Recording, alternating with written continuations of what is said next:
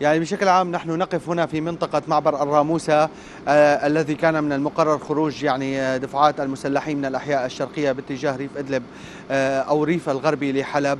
يعني كان هناك معلومات قبل قليل تتحدث في الشق الخاص باتفاقية الاستسلام للمجموعات المسلحة عن موضوع آه ربط الاتفاقية بالتزامن خروج أهالي وكفريا والفوعة وأيضا بالتزامن مع ذلك خروج جرحى ويعني آه، ذوي الاحتياجات الخاصة من بلدة مضايا والزبداني في ريف دمشق بعد إخراجهم إلى المناطق الآمنة تحت سيطرة الدولة سيتم بالتزامن مع ذلك إخراج الدفعات الأخيرة من مسلحي الأحياء الشرقية وعوائلهم باتجاه المنطقة. الآن تصل يعني إحدى سيارات التابعة للهلال الأحمر العربي السوري إلى هذه المنطقة. لا نعلم إن كان خلال الساعات القادمة يعني بعد خروج كما قلت لك الأهالي نعم من كفريا والفوعة وأيضا مضايا والزبداني سيتم آه، على الفور إخراج المسلحين نعم. وعائلاتهم من هذه المنطقة نعم. في الأحياء الشرقية من حلب العدد الذي تبقى داخل آه الأحياء الشرقية هو بحدود الخمسة آلاف شخص ربيع نعم. كنت أريد أن أسألك عن المستوى التفاؤل اليوم في الشارع الحلبي بعد هذه الانتصارات الكبيرة التي يحققها الجيش العربي السوري والتي حققها في الأحياء الشرقية من حلب. يعني اليوم اليوم منذ السابعة صباحا رصدنا عبر صفحة الإخبارية فيسبوك مباشر آراء الشارع الحلبي وأيضا كنا بجولة وثقناها بالصوت والصورة عبر صفحة الإخبارية.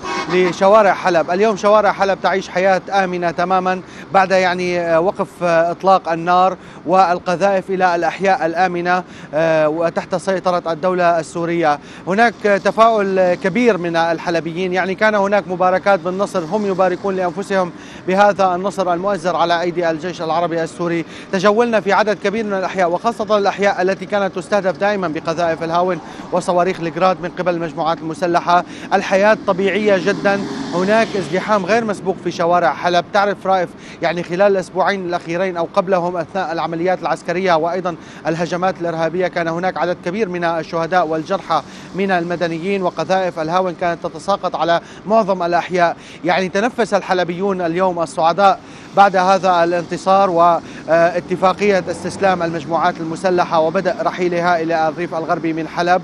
هناك حركة طبيعة هنا طبيعية. هناك أجزاء يعني قبل قليل كنت قد رصدت بعض المحال التجارية التي عاودت العمل آه، في منطقة صلاح الدين خاصة عند خط التماس مع المجموعات المسلحة. يعني هي تبعد بحدود المئة متر.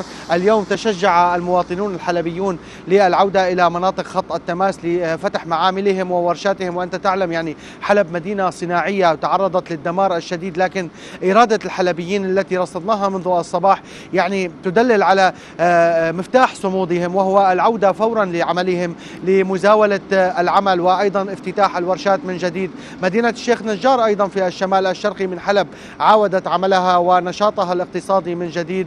آه، يعني كنت التقيت قبل قليل أيضا في البث المباشر مع عدد من جنود الجيش العربي السوري الذين صمدوا خلال الأزمة. كانوا يتحدثون عن أن أبناء حلب هؤلاء الذين يعني آه، آه، دخلوا مع الجيش العربي السوري محررين لأهاليهم في الأحياء الشرقية. يعني بشكل عام مشاعر النصر هنا كبيرة جدا. الحلبيون الآن على موعد مع آه، يعني انتظار الساعات المقبلة أو الأيام المقبلة ليكتمل هذا النصر بتحرير ما تبقى من الأحياء الشرقية الخاضعة للتنظيمات المسلحة. ومن ثم إعلان النصر على الطريقة الحلبية كما خرجوا في منذ أسبوع أثناء تقدم الجيش لمباركتهم. هذا الانتصار خرجوا بالآلاف إلى الشوارع.